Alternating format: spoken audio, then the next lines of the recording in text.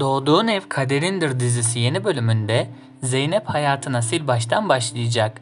Mehdi'den kurtulan Zeynep artık hayatını iyileştirmeye ve önüne bakmaya başlayacak.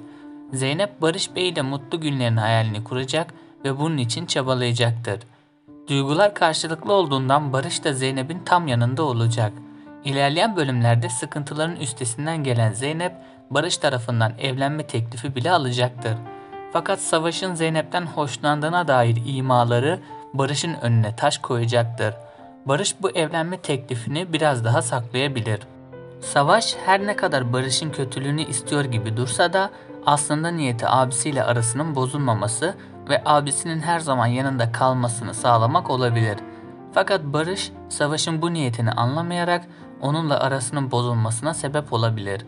Mehdi hapishanede geçirdiği zamanlar sonrası hatalarının farkına varacak, hapisten çıktığı gibi iyi birine dönüşüp zarar verdiği insanlardan helallik almaya ve onlara yardım etmeye başlayacaktır. Peki sizce Savaş gerçekten abisinin iyiliğini mi düşünüyor? Fikirlerinizi yorumlarda belirtiniz. Videoların devamı için abone olup like atmayı unutmayın.